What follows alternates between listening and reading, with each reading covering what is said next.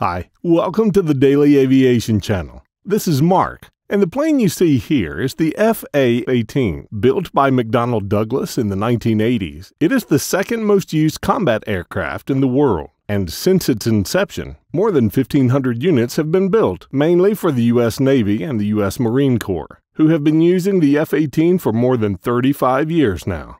Greatly improved in the 1990s with the F 18 Super Hornet version, it is still considered to be one of the most successful aircraft of its generation. The F 18 Hornet's ancestor was the YF 17, a prototype created at the beginning of the 1970s for the U.S. Air Force program called Lightweight Fighter.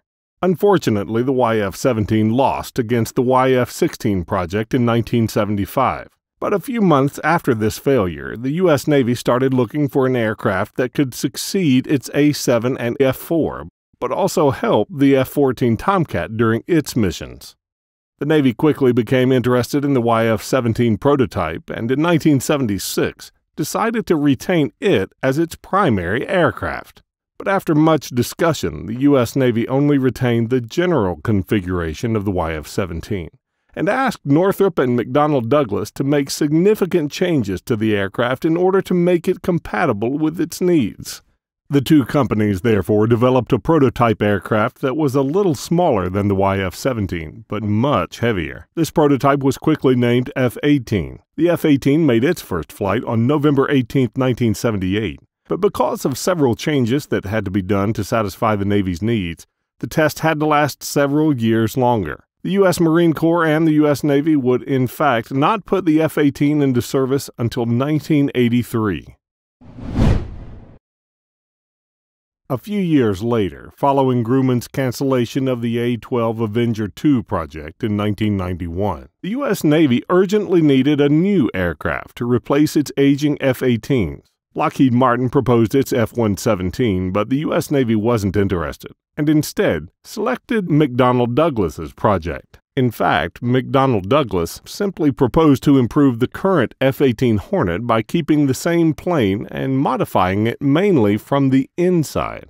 This new aircraft was heavier but much more powerful than the original F 18, and although it was a little larger, it kept the general look of the previous F 18. It was equipped with new engines, and its air intakes were modified to improve the air supply, but also to reduce its radar signature. With a length of 60 feet, a height of 16 feet, and a wingspan of 44 feet, the F 18 Super Hornet was specially designed to be used on an aircraft carrier and has, for example, folding wings so it can be easily parked in hangars or on a flight deck. Its landing gear was designed to withstand the formidable force of a catapult launch during which the F 18 is launched at over 170 miles per hour in less than three seconds.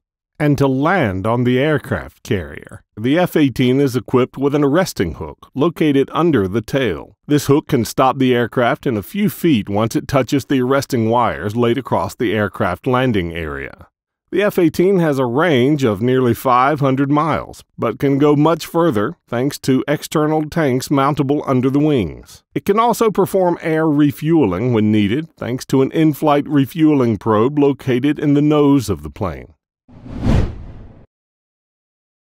The F 18 Super Hornet is powered by two F 14 turbojets derived from the F404 and developed by General Electric in the early 90s, more than 1,000 units of the F414 were produced and equipped mainly the F 18 Super Hornet.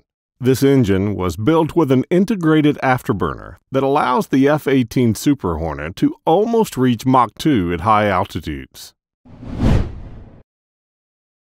To replace its aging EA 6B Prowler, the U.S. Navy put an electronic warfare version of the F 18 called EA 18 Growler into service in 2009. This version has the same performance as the Super Hornet, which significantly facilitates the escort missions compared to the Prowler, who had lower performance and could have trouble following the F 18. The crew of the EA 18 Growler consists of two members seated in tandem. The pilot is in the front, and at the back is the operator of the electronic warfare system. To save space, the Growler does not have a cannon, and installed beneath its wings are pods for enemy target detection and jamming. The F 18 is also used by the famous squadron demonstration, the Blue Angels. Created in 1946, the Blue Angels are the official aerobatics team of the U.S. Navy. They travel the United States to perform their aerobatics during air shows or during major sporting events such as the Super Bowl. One of the peculiarities of this patrol is that its pilots fly without anti G suits, which are normally used to avoid losing consciousness during strong acceleration. This choice is a feat, considering the fact that the Blue Angels aerobatics are among the most impressive performances of this type in the world. The Blue Angels have been using the F 18 Hornet since 1986 and are expected to switch to the F 18 Super Hornet starting in 2021. That's the end of this video. I hope you liked it. If you haven't done so yet, don't hesitate to subscribe to this YouTube channel. It's free. You can also watch my other videos, and if you like my work, you can support me on Patreon to help me produce more content.